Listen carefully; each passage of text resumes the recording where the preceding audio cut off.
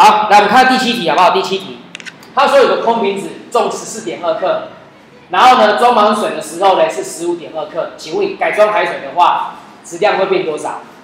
而且他讲的质量共多少啊？然后他告诉你海水的密度了。好，我们先问你个问题，有个杯子啊，他先告诉你说，请问你我装满海水的时候啊，质量会变多少？你告诉我这个质量该怎么算？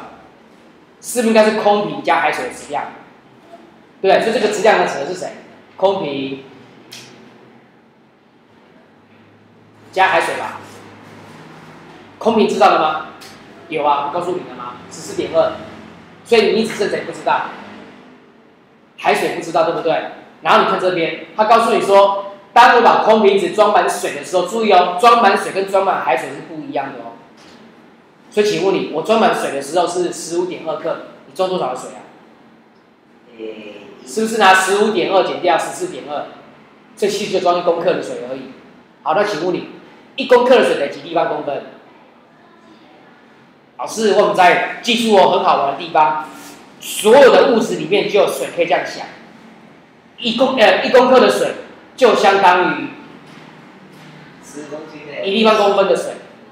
为什么我可以这样算？因为你看这边公式不是 D 等于 V 分之 m 吗？当我的密度是一的时候，不是代表 V 跟 m 是一样的，因为这样相对才等于一嘛。那也就是说，如果当我的体积是一，那哎质量是一，代表体积呢就应该是一啊，因为一除以一才等于一吧。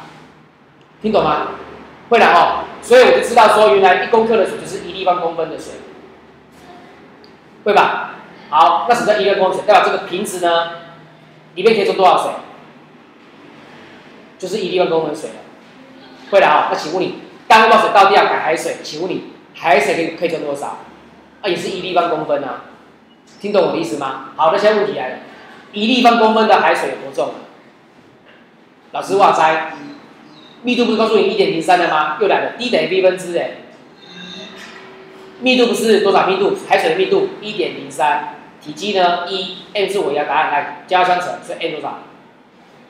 就是一点零三，所以答案就是一点零三，所以答案多少？答案一点三。题目不是问你质量吗？那就应该是空瓶加海水吧？空瓶的是多少？空瓶十四点二，海水呢一点零三，所以请问你十四点二加一点零三是多少？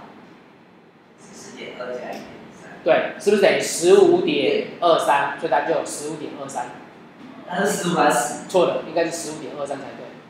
把它改一下，十五点二三。他写错了。是你打错。没有没有没有，绝对没有错。好，改一下。